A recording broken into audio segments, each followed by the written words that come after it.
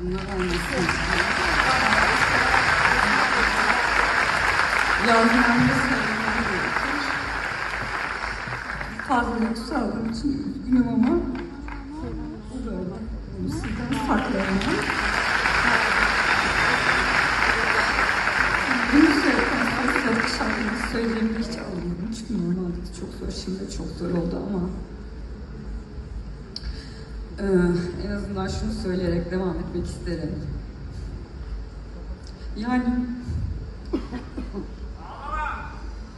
sana sormayacağım, ağlayıp ağlamayacağım.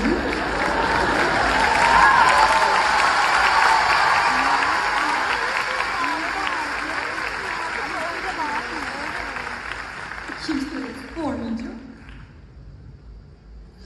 Çünkü üzgünüm, çünkü hüzünlüyüm ve öfkeliyim. Çocuğa bunu yaptıkları için öfkeliyim. Ee, sizin de modunuzu çok düşürmek istemiyorum çünkü biraz bunlara ara vermek için e, beraber yaşadığımız bir iki saat ama e, bunu yapanların da, bunu görüp sessiz kalanların da bu dünyada ve diğerinde şimdi içimin yandığı yüz katı kadar yanmasını ümit ediyorum.